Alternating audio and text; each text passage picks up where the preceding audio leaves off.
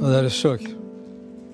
خداوند دعا می‌کنم کلام خودت رو تو زنده کنی در قلب های ما عامل حیات و برکت بگردونی. خداوندا می‌خوایم کلام تو رو فقط شنونده نباشیم بلکه عمل کننده ها باشیم به نام عیسی مسیح کلامت رو در زندگی های ما امروز برکت بده. آمین. آمین. تا حالا برای شما سوال پیش اومده که چرا مسیحیان با هم فرق می‌کنن؟ مگه همشون به یک مسیح ایمان نیوردن؟ مگر همه یک کلام رو نمی‌خونن؟ چرا که انواع اقسام هستن. افرادی تاله شده دیده باشید افرادی که کلام هر چقدر باشون در میان می‌گذاری مثل اینکه فرو نمیره اصلا هیچ تکونی نمی‌خورن. بهترین کلام خدا که اشکای من و اشکای خیلی ها رو در میاره رو باشون در میان می‌گذاری انتظار داری الان دیگه زانو بزنه دیگه الان دریافت کنه محبت خدا رو. بعد می‌بینی هیچ اصلا بیخیال رد کرد. حالا شده افرادی رو ببینی که وقتی که مسیح رو میپذیرند با شادی میپذیرن خوشحالن بالا پایین میپرن می‌خواد به همه بگن. زندگیشون پر از عیسی مسیح از زبانشون عیسی مسیح کم نمیشه. یه کتاب مقدس دارن چند برابر کتاب مقدس من. اینو می‌گیرن. هر جایی هم که رفتن کتاب مقدس با هر کی هم بود که بود صحبت می‌کنن. مگه اینا همون مسیح رو نشنیدن؟ و بعد اون که اینقدر داغه حتما برای شما اتفاق افتاده. اونی که اینقدر یک روزی داغ بود یک روزی اینطور برای مسیح میستاد یه دفعه یه روز میاد دیگه من دیگه مسیحی نیستم. کسی که هر روزش کلیسا بود کلام خدا دستش بود از دهانش کم نمی‌شد. کسی که مرتب به دیگران راجع به مسیح بشارت می‌داد یه دفعه یه روز میگه آقا ما نیستیم دیگه رفتیم. حالا شده مسیحیانی رو ببینی که مسیحی هن ولی میگی خوب همچین فرقی هم تو با مردم دنیا نداری. چی شده؟ چرا این یکی اینطوریه؟ تو هم همون کارای منو داری می‌کنی. مسیح از تو نمایان نیست. تو که میگی حرفت قشنگه ولی اعمالت قشنگ نیست. آیا مسیحیان دیدی که میگه 20 سال مسیحی هم 30 سال مسیحی هم ولی نگاه می‌کنی می‌بینی هنوز خیلی بچه است. هنوز اون پایه های مسیحیت تو زندگیش بنا نشده. اثری از زندگی مسیح از اثری از شخصیت مسیح توش نمی‌بینی. آیا شده همچین افرادی؟ و آیا شده افرادی رو ببینی که مسیح از اونها میدرخشه؟ کسانی که زندگیشون پر از ثمر و میوه است.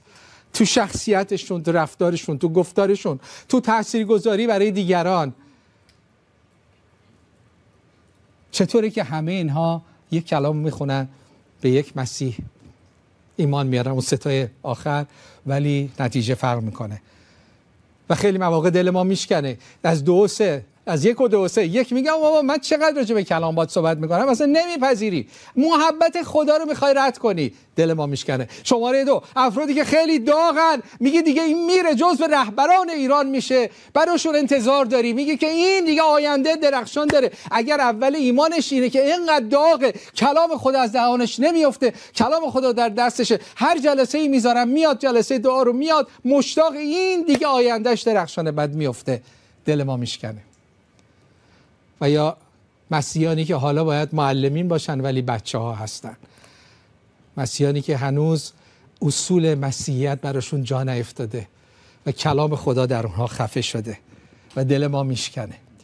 و گاهی هم می‌بینیم افرادی که با تمام دل و جان مسیح رو پذیرفتن و می‌بینیم مرتب در حال رشد عوض میشه. به سوی مثبت عوض میشه. شبیه عیسی مسیح میشه. مشتاق فرقشون چیه؟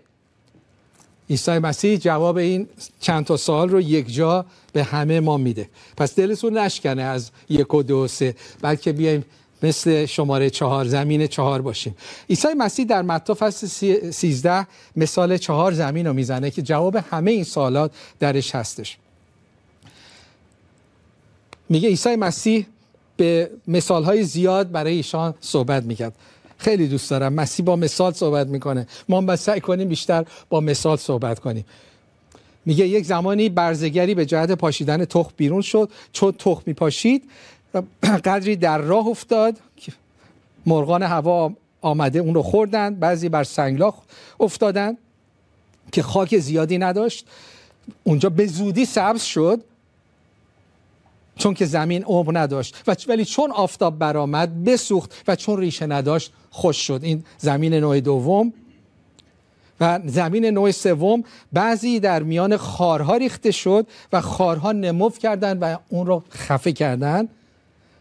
و زمین چهارم برخی در زمین نیکو کاشته شدن بار آورد بار کاشته شده بار آورد و بعضی صد شست و سی هر که گوش شنوا دارد بشنود. میگه خب این چه معنی داره؟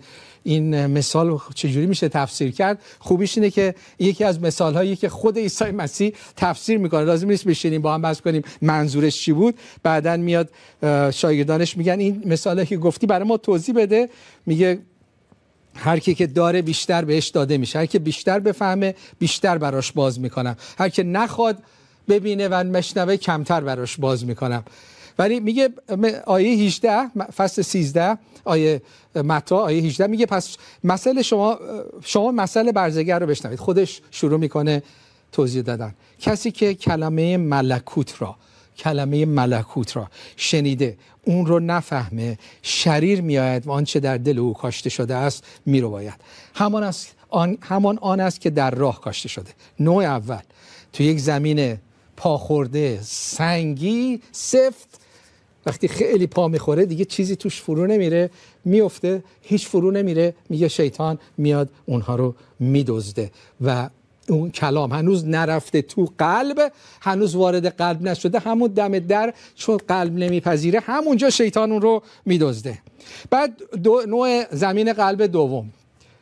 آنکه بر سنگلاخ ریخته شد اوست که کلام رو شنیده. فلفور به زودی سریع به خوشنودی با شادی قبول می‌کنه. ولی چون ریشه نداره بلکه فانیست هرگاه سختی مشکلی به سبب کلام بر او وارد آید در ساعت لغزش می‌خوره. و سوم آن که در میان خارها ریخته شد اون است که کلام خدا رو میشنوه میپذیره ولی اندیشه این جهان غرور مال کلام خدا رو خفه می‌کنه و بی سمر می‌کنه. و آنکه در زمین نیکو کاشته شد آن است که کلام رو شنیده آن را می‌فهمه. بارآور شده بعضی صد و شست و سی سمر میاره چهار نوع چهار نوع زمین قلب هستش. من شما امروز با خودمون روبرو بشیم. کدوم یکی از اینا قلب ماست؟ کدوم یکی از اینا زمین قلب توست؟ ما متوجه باشید تو هر چارتاش کارنده یکیه خداست. و بعض هم فرقی نمی‌کنه. یک خداست همون بذره همون کلامه. ولی چهار نتیجه مختلف میده. نتیجهش به اون بستگی نداره. اون کارشو کرده. خداوند کلامش رو فرستاده کلامش رو میگه. ما میشنویم. از طریق تلویزیون وقتی می‌خونی میشنوی تو کلام تو کلام خدا رو. فرقش اینه که با این کلام چه کار می‌کنه اون فرقشه. این نیست که بتونی بگی آه خدا تو زندگی فلانی خیلی کار کرده. تو زندگی من کار زیاد نکرده. فرقش چیه؟ همون خدا همون کلام. مشکل توست. مشکل توست اگر رشد نمی کنی مشکل توست اگر به عیسی مسیح ایمان آوردی ولی هنوز در اون مسائل دنیا غرقی. هنوز با خودت با نفس خودت. در با خشم مشکل داری با اعتیاد مشکل داری. با بدبینی با ناامیدی. هنوز با همسرت دعوا می‌کنی. هنوز با ایمانداران دیگه در میفتی همون کلامه. مشکل کلام نیست مشکل خدا نیست. مشکل قلب من و توست. بیایم امروز قلب رو چک کنیم. چون خدا می‌خواد ما رو برکت بده. خداوند تو این کلامش به من و تو هشدار میده که بیدار شیم. بیدار شیم نه من رو محکوم کنه بلکه بیدار شد تو می‌خواد تو رو برکت بده. چون تو خیلی مواقع از این چهار تا زمین هستیم و خودمون نمی‌دونیم. بیایم صادقانه با خودمون روبرو شیم. من هر چهار تاشو توضیح میدم شرایطشو. خودت خودتو چک کن منم خودم رو چک می‌کنم. زمین سخت. نشانه قلب سخت و سنگینه. انقدر سخت شده کلامم بهش بخوره نمیره تو. وارد نمیشه. همونجا جلوی در میمونه جلوی در قلبش میمونه. و بعد از مدتی یا سریع میگه نرفت خب شیطانم میاد میدوز اصلا ده دقیقه بعدش یه رو قبلش بگی بعدش بگی چی شنیدی؟ اصلا یادش نیست. دزدیده شد. این موعظه این پیغام رفتی چی شنیدی؟ این جلسه چی بود؟ اون موعظه که رو ایر شنیدی رو اینترنت شنیدی چی بود؟ اصلا یادش نیست. اون حرفایی که دیروز با هم صحبت کردیم چی گفتی؟ چون قلب رو سخت کردی وقتی قلب رو سخت کنی شیطان میاد آنچه را که خدا می‌خواد بهت بده رو میدازی بعد ما میگیم خب که شما من من اینطوری نیستم. ما ما مسیحیان ما نه نه. ما ما اینطوری نیستیم آخه. می‌خوام بدونید که خیلی بعضی مواقع خود منم اینطور هستم. می‌دونی به چند دلیله؟ به چند دلیل کلام خدا رو میشنویم ولی از همونجا رد می‌کنیم. اولش به این دلیل که اصلا نمی‌خوایم. میگیم آهان بخوام تو کلام خدا برم یعنی زندگیمو باید عوض کنم. باید یه چیزی رو ول کنم. آقا نمی‌خوام. نمی‌خوام. نه. باید بها بدم باید شاگرد مسیح آقا نمی‌خوام. اون قسمت های شاگردی و سرسپردگی مسیح رو انکار نفس این آیه این آیه ها به انکار نفس آقا اینو نخواستیم. اون آیه های شکلاتی رو به من بدین. من اونا رو دوست دارم. نمی‌خوایم. از اون چیزی که هستیم راضی هستیم. یا موردی پیش میگه نمی‌تونم این برای من خیلی بوده. وقتی به زندگیم نگاه می‌کنم می‌بینم کلام اومده در طی سالها ولی شنیدم ولی نشنیدم. شنیدم سعی کردم درک کنم ولی درک نکردم و تو زندگی من میوه و ثمره نیورده. خواستم انجام بدم خیلی مواقع نتونستم. یه مثال بزنم. به عنوان شبان سالها می‌گفتن که خوب یک شبان نیکو 99 گوسفندش رو می‌گذاره میره دنبال اون یکی گم شده. خب من اینو خب آره دیگه. خب بد بد بکنم. و در طی سالهای سال من 99 گوسفند رو ول می‌کردم. می‌گفتم برم دنبال اون گم شده. گم شده ای که از کلیسا از خدا دور شده. برو زیر پاش بشینم باهاش ملاقات کنم براش گریه کنم با خونش برم ببینم چه کمکی براش می‌کنم. تمام زندگی مالا برو با اون گوسفند گم شده این 99 تا رو ول کردم. اکثر مواقع من اینطوری خدمت کردم. تا اینکه خداوند کلام برای من باز کرد. گفت اون یکی بقیه کلام رو بخونی چون این تفسیر تفسیر انسانیه. رو تو سر منم می‌زدن. تو چه شبانی هستی؟ اون از کلیسا رفته دنبالش نمیری. خب منم راست میگی. جانم ببخشید. راست میگی. من شبان خوبی اصلا نیستم. اصلا اصلا لیاقت شبانی ندارم. راست میگی. بعد برم دنبالم. بعد از سالها دیدم که افراد گل آماده آماده دویدن برای خدا. افرادی که تشنن افرادی که حاضرن با من راه برن و ولشون کردم رفتم دنبال یکی دیگه. بعد می‌دونی چی یاد گرفتم؟ دو تا آیه پایین تر یاد گرفتم که اون شخص وقتی توبه می‌کنه برمیگرده. یعنی دنبال شخص توبه کار میری. نه اینکه حالا نمی‌خواد آقا نمی‌خوام. بیا نمی‌خوام خدا رو نمی‌خوام. نه جان من بیا. نمی‌خوام. آره ولم کن تو دنیا راحتم. نه من شبان نیکو هستم تا هم گوسفند گم شدیم. بیا به زور بریم. آقا نمی‌خوام. دنبال کسی میره که گم شده و توبه می‌کنه. اتفاقا آیه بعدی راجع به توبه است. و این سو تفاهم من میشنیدم ولی درست درک نمی‌کردم. خیلی قسمت های کلام خدا رو. در نتیجه واقعا اطاعت نمی‌کردم. این بی اطاعتیه هیچ متوجه هستید این بی‌اطاعتیه؟ چون کلام خدا رو خوب درک نمی‌کردم بی‌اطاعتی می‌کردم. بی‌اطاعتی از چی؟ بی‌اطاعتی از خدایی که می‌گفت اون 99 تا که آمادن رو بهشون برس. اونا اونها هم گوسفندان تو هن. اونا آمدن تو منتظرن. اون به اونها خیانت نکن. فقط اینکه اونها رو هستن دیگه بشینید جمعیت. ببین بشینید یک شنبه اینا بچهای خوبی یک شنبه میان و میرن. حالا اون که نمیاد برم دنبال اون. این خیانت به خداست و خیانت به مردم. نمیگم نه باید دلسوزی داشته باشیم. نمیگم باید دنبال مردم نرفت. ولی دنبال چه کسی میری؟ وقت تو کجا می‌گذاری؟ من سالها وقتم و جای اشتباه. سالها با کسانی خواستم شاگردسازی کنم که خودشون نخواستن شاگرد باشن. سالها با کسانی خواستم رهبر بسازم. رهبر ایران بسازم. رهبر کلیسا بسازم.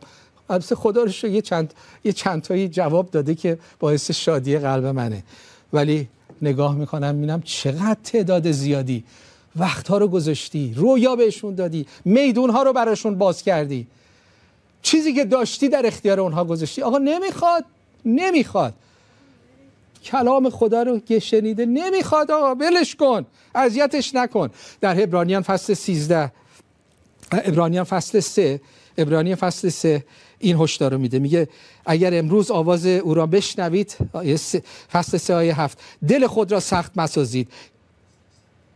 دل خود را سخت نسازید. جایی که پدران شما من رو امتحان آزمایش کردن امروز که کلام خدا رو میشنوی امروز دل خودتو سخت نساز مثل اون زمین سخت که کلام بخوره و هیچ ثمری نیاره. قلب تو سخت نکن قلب تو نرم کن آماده دریافت کلام خدا باش. وقتی میشنوی بپذیر بگذار در قلب تو کاشته بشه و ثمره بیاره. و بعد میگه مواظب باشید که به آرامی من داخل نخواهید شد. خیلی هم چرا من آرامی ندارم؟ چرا تو زندگیم آرامش نداره؟ چرا استرسه؟ چرا مسائل و مشکلات میاد همش رو هم جمع میشه؟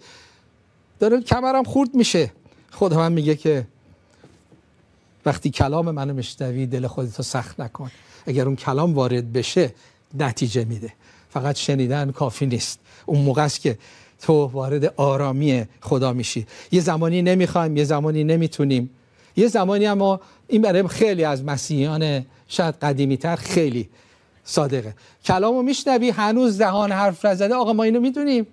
مثال چهار زمین من خودم موعظه کردم. من خودم بلدم آقا. اینو اینو من خودم درس میدم.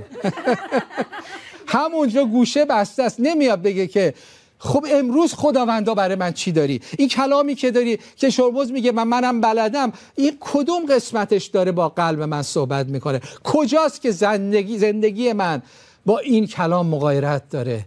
کدوم یکی از این زمین ها من هستم؟ خودم رو چک کنم. کجا دارم خارج میشم؟ نه آقا ما می‌دونیم. این واقعا از غروره یا تلخیه. یکی داره پیغامو میده میگه قیافش نکن این کیه دیگه؟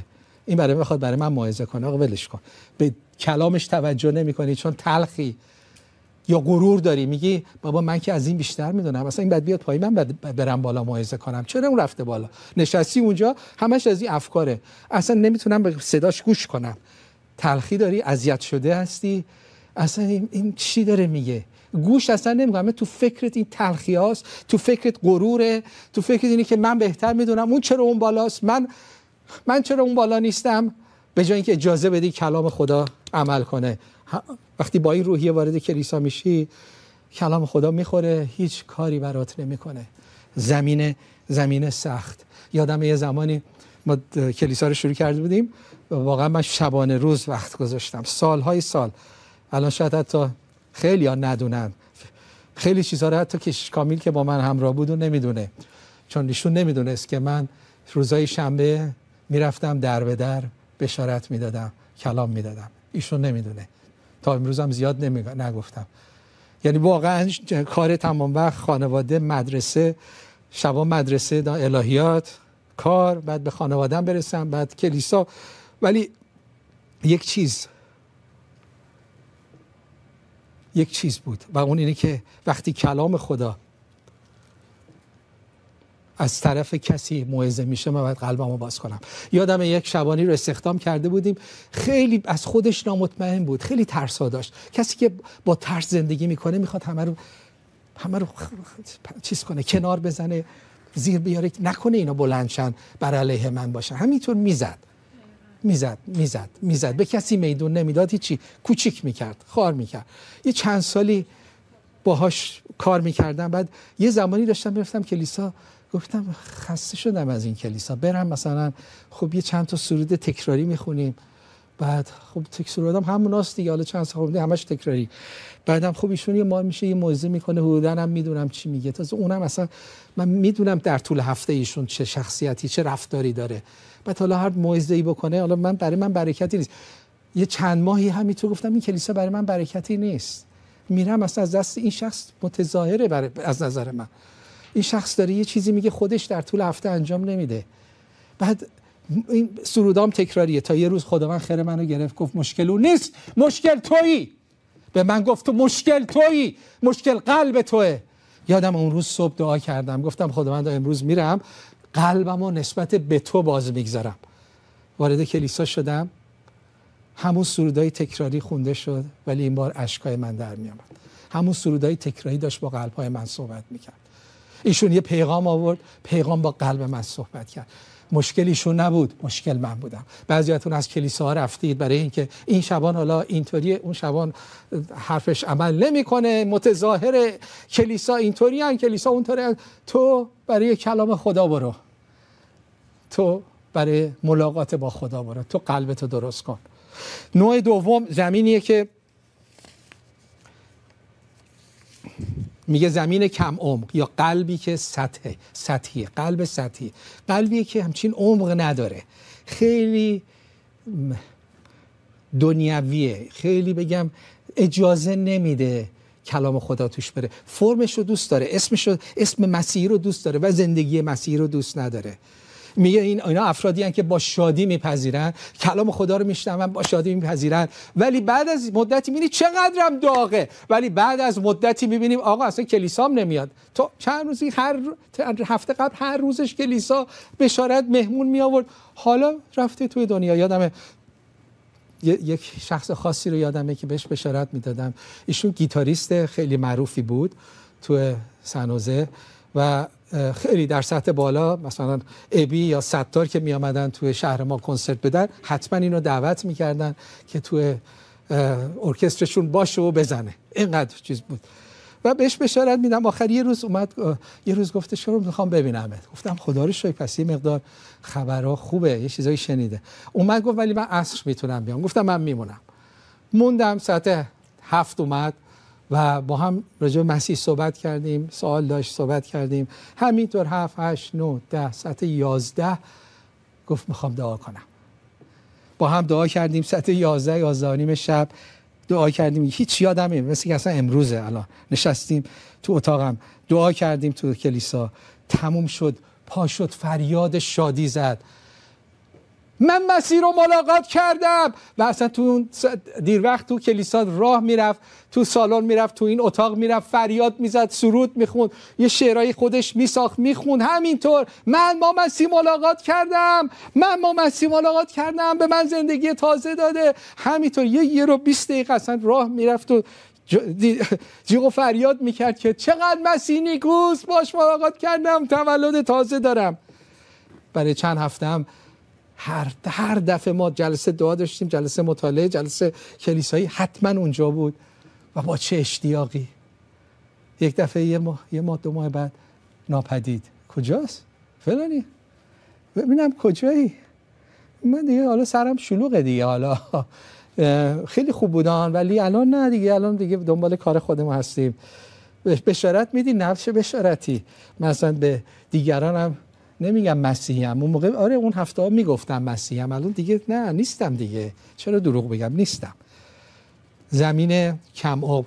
زمینیه که دانه رو میپذیره به خیلی سریع. میگه به شادی میپذیره. خیلی سریع میوه میده ولی میوهش نمیمونه. مثل میگه زمینی که تو سنگلاخ میفته میوه میده ولی آفتاب که میاد مشکلات که میاد تمام میمیره میره.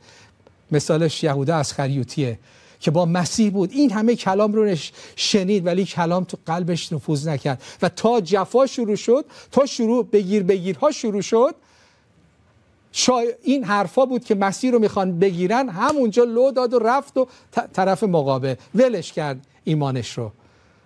بعضی از ما اینطور هستیم. با مسیح خیلی داغیم تا اینکه یه مشکلی پیش بیاد یه سختی پیش بیاد آقا ما نیستیم. مسیح تو زندگیت معجزه کرده. یه شفایی رو داده یه معجزه. آه عاشق مسیح هستم. مسیح منو شفا داد. مسیح مشکل مالی منو حل کرد. خیلی دیگه استاد منه. غلامش هستم. زندگی مال اوست. بعد دو ماه بعد یه تقاضای دعا داری. مسیح جواب نمیده. نخواستیم آقا تو هم برو. مسیح جواب دعامون نداد. ما هم رفتیم. اون موقع داد بودیم. یعنی ایمان سطحی. ایمان واقعی نیست. ایمان مرده است. ایمانی که به نجات نمی‌رسه. فکر نکن نجات داری. کلام تو زندگی تو کاشته نشده. اگر اینطور هستی امروز به مسیح برگرد. بگو عیسی مسیح من تو رو برای خودت می‌خوام. می‌خوام کلام تو عمیقا در من عمل کنه. چه جواب دعای منو اونطور که من می‌خوام بدید چه اونطور که خودت می‌خوای جواب دعای منو بدی فرق نمی‌کنه. من سرسپرده تو هم من به تو احتیاج دارم. تو و کلام تو منو زنده می‌کنه. کلام تو چراغ راه زندگی منه. می‌خوام کلام تو رو کامل و قلب و زندگیم بپذیرم و مثل گروه چهارم برای من ریشه بده. و ثمره بده. افسوسیان چهار خیلی هستیم. زود میشنویم چقدر خوب. من چقدر جلسات یادم میاد. جلساتی که مثلا راجع به اتحاد با با عزیزان ما جمع شدیم. خداوند تو اتحاد می‌خوای. می‌خوای ما با هم قلبا متحد باشیم پشت هم دیگر رو داشته باشیم. همه دعا می‌کنم بله خداوند. بله خداوند. اتحاد. خداوند من برادرم رو دوست دارم. خواهرم رو دوست دارم. هرگز از او جدا نخواهم شد. همچین جلسه دعای پر از هیجان. ده دقیقه بعد پشت در دارن با هم دعوا می‌کنن. فرداش دارن دستبندی می‌کنن دوست و دشمن می‌کنن. ولی اونجا بله خیلی داغیم. کلام خدا اتحاد می‌کنیم. بله اتحاد خیلی خوبه. اتحاد خیلی مهمه. کیه که نگه؟ بر منکرش لعنت میگن با احساس برخورد می‌کنیم. فقط با احساس. قلب قسمتی وقتی میگه به قلب چهار زمین قلب.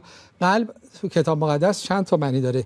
یه معنی کلیش جاییه که مرکز فکر مرکز احساسات و مرکز اراده است. اون دنیای درون رو خیلی جاها قلب میگن. بعضی جاهاست که قلب فقط مرکز احساساته تو بعضی از آیات. ولی وقتی چیز دیگه ای رو نمیگه میگه قلب قلب محل فکر و احساسات و اراده هستش. زمین سوم زمین خوبیه. میپذیره کلام رو ولی حوث ها نگرانی ها خواسته های نفسانی کلام رو خفه می‌کنه. یعنی طرف مسیر رو پذیرفته ولی کم کم دیگه مشکلات دنیا و چه کار کنیم و حالا بچه هست و کار و سختی ها و بیپولی ها و نگرانی و همه اینا اومده و دیگه حالا اون تازگی و شادابی رو ندارم دیگه. اینا دیگه خفه شده است. مثلا مسیح در من کم دیده میشه. آقا نمی‌گذارن دیگه ما مسیحی باشیم. اجازه نمیدیم. کلام خدا اونطور که باید رشد کنه. دنیا رو ما تاثیر می‌گذاره. نگرانی های مردم. از یا می‌شناسم بیشتر از این نگرانن که مردم چی میگن تا خدا چی میگه. افرادا. داشتید مردم چی میگن؟ براش مهم. اینو بکنم. اینو که شما اینو کارو بکنم مردم برای ما تکست میفرستن پیغام میفرستن. مردم برای من حرف در میارن. نه. خدا چی میگه؟ اول بپرس خدا چی میگه. خدا چی می‌خواد. اینا نگرانی های دنیا مردم چی میگن چی میشه آیندم چی میشه؟ از کلام خدا مهمتر میشه و کلام خدا در ما خفه میشه. دومی تاووس 14 دیماس رو میگه. میگه دیماس به خاطر به خاطر عشق به دنیا منو رها کرد. مسیحیانی می‌شناسم که وقتی در ایران بودن شاید خود تیان من اینو با احترام و با درد و با محبت و با فروتنی بهت میگم عزیز دل من. عزیز دل خدا می‌تونم یه تکونت بدم از طرف خدا. کسانی هستید که یک زمانی برای خداوند میدرخشیدید. در ایران خدمت می‌کردید بها می‌دادید سختی کشیدید. حتی بعضیاتون زندانی رفت زندان رفتید زندانی کشیدید. ولی از ایران که اومدید بیرون این سختی ها و فشارها و مشکلات دنیا کلام درت خفه کرده. دیگه اون نیستی. دیگه اون درخت پربار نور مسیح در تو بود الان نیست. اجازه دادی نگرانی نگرانی حالا کجا میریم؟ این مهاجرت ما این پرونده ما چی میشه؟ فردای من چی میشه؟ خفه شده در کلام در تو. خیلی هستن مسیحانی که تو ایران خیلی کارها کردن. میان آمریکا. هیچ کار. چه کار می‌کنی؟ کلیساش هم نمیاد. فقط چرا؟ چون تو آمریکا موقعیت هست. حالا باید کار کنم دیگه. بعد یه خونه داشته باشم. بعد یه ماشین داشته باشم. ماشینم باید بهتر باشه. و بعد این خونه رو باید بخرم این ماشین رو بخرم. خب یه سری چیزا باید داشته باشم. حالا تو قرض افتادم که جمعه نمی‌تونیم. تو کلیسا نمی‌تونم شرکت کنم. چون باید برم کار دوم رو انجام بدم که این قرضامو بدم دیگه. اسارتی که در دنیاست. فشارهای دنیا ما رو خفه می‌کنه که کلام خدا رو نتونیم زندگی کنیم اطاعت کنیم. وقتی راجع به کلام خدا راجع به ده یک صحبت می‌کنه خیلی همون شماره یکیم. ده یک آقا همون نه آقا اصلا کلام وارد نشه.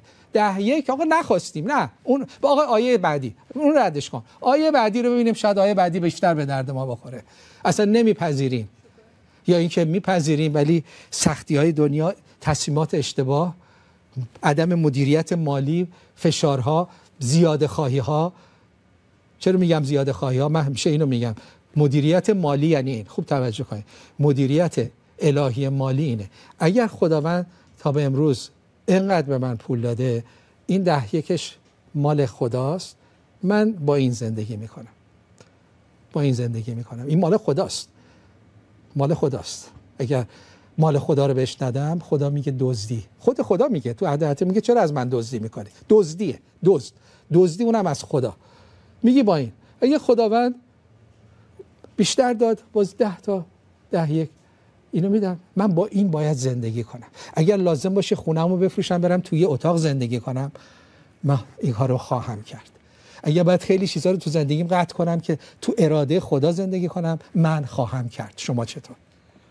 شما چطور؟ و کردم. این نیست که خرد من وقتی که به یک شغل بسیار پر درآمدی داشتم. بسیار پر درآمد. بعد وقتی خدا خون یک دفعه یک شبه حقوقم یک سوم شد. تازه یک سومی که همه تکس و هر چی هم بود بعد از دل اون می‌دادم. در صورتی که اون موقع همه بقیه شد شرکتمون می‌داد. و گفتم وقتی به تو بله گفتم خداوندا من اینطور زندگی خواهم کرد. و خدا رو شکر در طی این سالها هیچ وقت مغروز نبودم. هیچ وقت تو کردیت کارت من هیچ وقت پول از یه ماه به ماه بعد نرفت. چون من به کلام خدا متحدم و نمی‌خوام دزد باشم. نمی‌خوام فقط به زبان باشه. خداوندا چه کلامت نیکوس انجام نمیدی. به خصوص قسمت مالی خوب مچ ما رو می‌گیره. قسمت مالی کلام خدا میگه هر جا قلب توست پول توست. هر جا پول توست قلب توست. از این شعارهای تو خالی میدیم ولی در قسمت مالی دزدیم. کلام خدا باید بیاد در قلب ما کاشته بشه.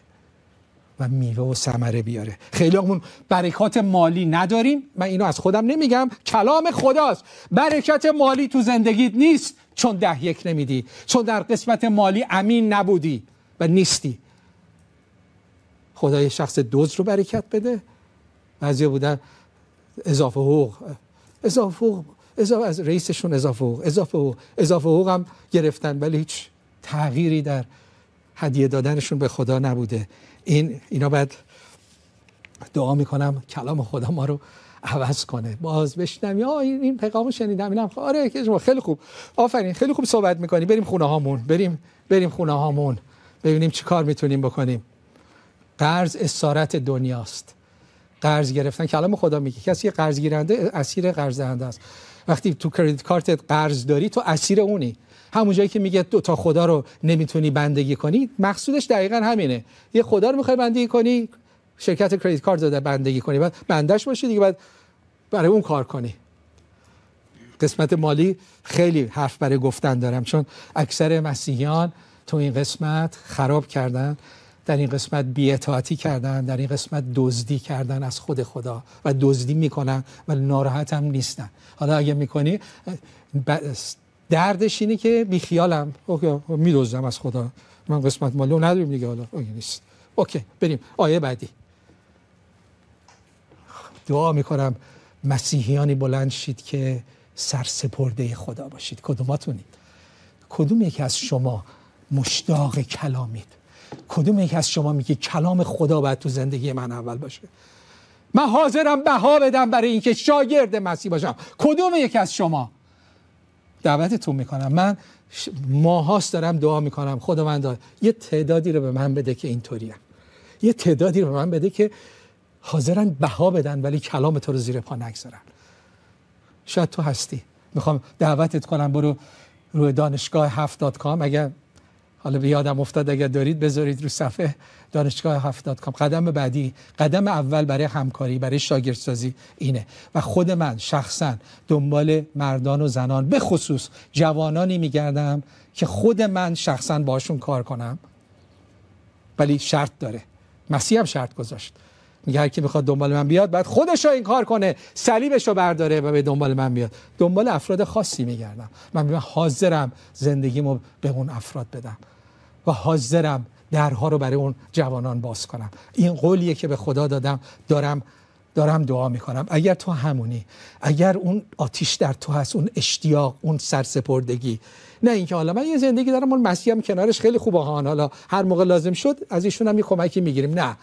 من دنبال سرسپردگان میگردم. خدا دنبال سرسپردگان میگرده. اگر هستی برو در دانشگاه ثبت نام کن چون قدم اولونه. دانشگاه کلاس اولش شما ما رو می‌شناسید ما شما رو می‌شناسید بعد می‌فهمیم حالا بعد چیکار کنیم. چون به حرف نیست. حرف باشه الان همه میگن که آقا ماییم که شما تو می‌خوای کار کنی؟ آقا با من کار کن. من از این اشتباه زیاد کردم. هر کی می‌خواد شاگرد بشه بیا. همه میان بعد از سه سال چهار سال زندگی زندگی وقت خودشون تلف وقت من تلف. می‌بینی آقا از 40 تا سه چهار تاشون خوب در اومدن. نه دیگه. من کلام خدا رو اون موقع خوب نمی‌دونستم الان خوب می‌دونم. بهتر می‌دونم. هنوز خیلی جای یاد گرفتن دارم. نه. من با شاگردان مسیح شاگردسازی می‌کنم. اگر شاگرد مسیح نیستی شاگرد من نخواهی بود. دعای من اینه. یک نسل تازه از مردان و زنان خدا.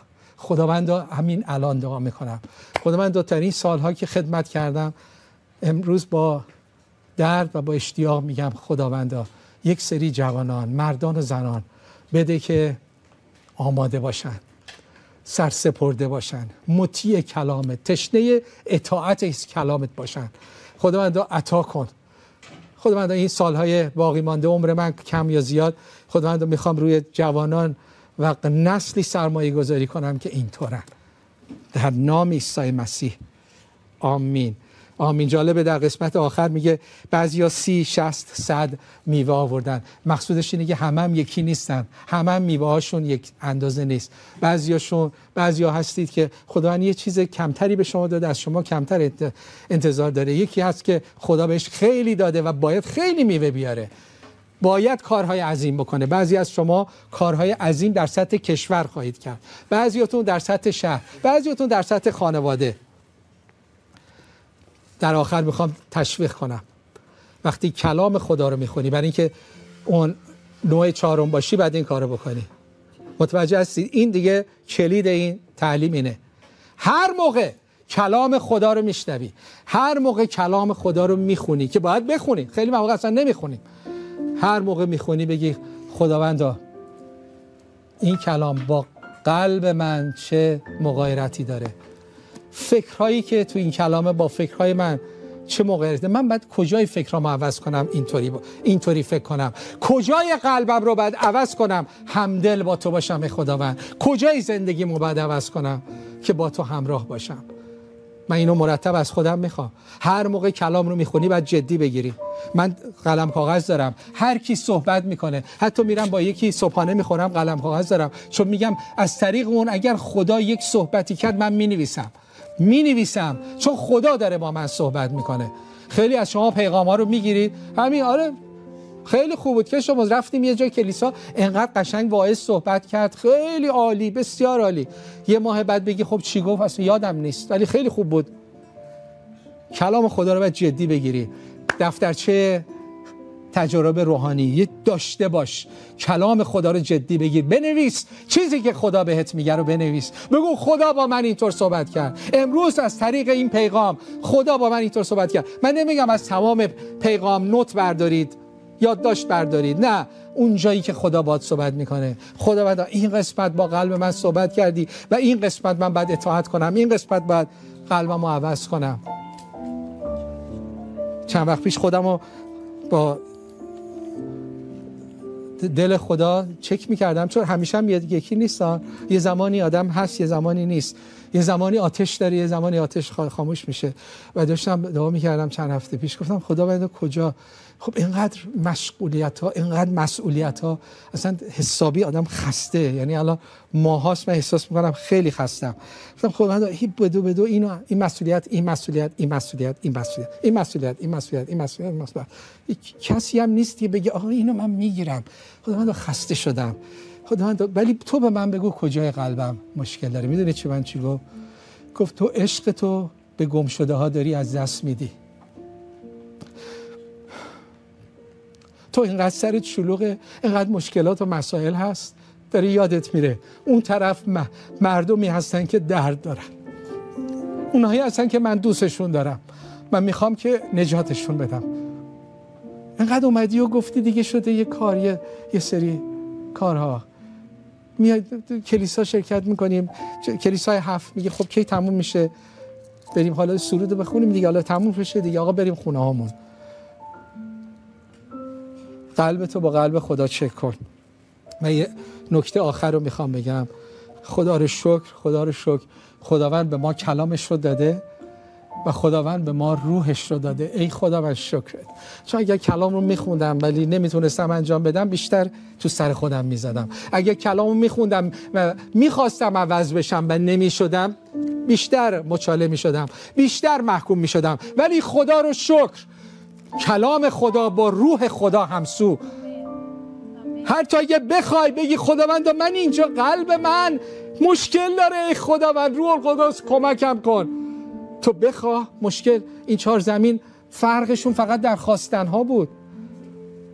بخواه قدرت روح القدس ما رو تبدیل می‌کنه. تو بخواه جدی بگیر بگو خداوند تا این قسمت زندگی من تو قسمت مالی من قسمت روابط زناشویی من. خب اینجا من این قسمت من نیستم. خداوند کمکم کن قدرت بده. وقتی قبل از اون که به مسیح ایمان بیارم من داشتم با همسرم از همسرم جدا می شدم تاریخ طلاق رو گذاشته بودیم. انقدر مشکلات عمیق بود.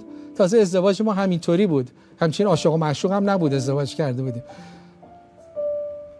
اون به خاطر گرین کارت ایران ازدواج کرد منم به خاطر گرین کارت آمریکا. چون ایران بود داشتن بیرونش می‌کردن. گفتیم خب بیام ازدواج کنیم. به تو می‌تونن اجازه موندن بدن منم بیام آمریکا اجازه موندن. با همینطوری ازدواج کردیم. اومدیم آمریکا. بعد مشکلات هیچ مشکلات زیادی بود. گفتیم نه بعد بهتر جدا بشیم دیگه. تاریخ گذاشتیم. ولی از این زمانی که تاریخ رو گذاشتیم زمانی که جدا شدیم سه ماه فرصت بود تو اون سه ماه من و ایشون ایمان آوردیم.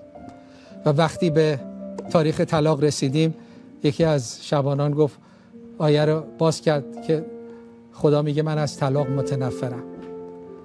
برای من آسون نبود اطاعتش. تمام وجودم می‌گفت جدا شو با این چه ازدواجی؟ از اولش هم درست نبود. اصلا به هم نمی‌خورید. ولی به خدا اعتماد کردم. گفتم خداوندا نمی‌فهمم ولی تو میگی طلاق نگیر من طلاق نمی‌گیرم و میمونم. شما چطور؟ خداوند رو دعا می‌کنم به نام عیسی مسیح. خداوند ما رو مردان و زنان این کلام بساز.